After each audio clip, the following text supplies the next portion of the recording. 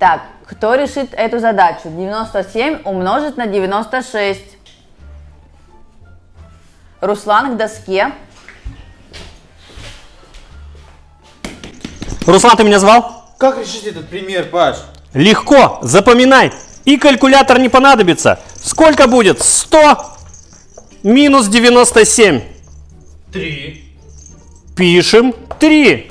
Сколько будет 100 минус 96? Четыре. 4.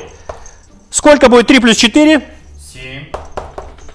Правильно. Теперь, сколько будет 100 минус 7? Девяносто три. Пишем 93. А теперь нам надо узнать вторую часть. Смотри, мы умножаем 3 на 4. Сколько будет? Двенадцать. Все правильно. 12 идет вот сюда. И получается Девять тысяч триста двенадцать.